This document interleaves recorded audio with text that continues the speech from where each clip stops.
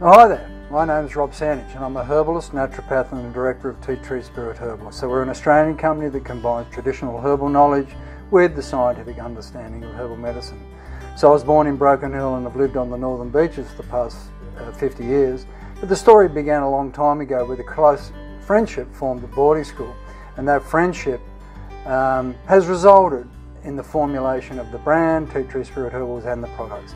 So I've been practicing for 35 years and I've got a particular interest in herbal medicine making as well as medicinal indigenous plants.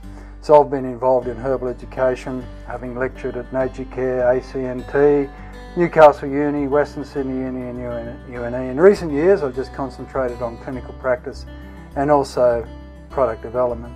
So the rub was developed you know 20 years ago whilst in the bush on the mid-north coast of New South Wales with my friend and we discovered some very interesting and unique essential oils that form the basis of this decongestant rub.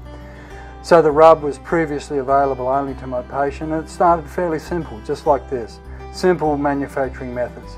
So now it's a TGA listed remedy and there's a remedy available to all. So we've begun this venture concerned with just topical herbal medicines based on my clinical experience using both traditional and scientific evidence and it's available through Oborne Health, Vitally, Australian Amazon, as well as health food shops and selected pharmacies. Thank you.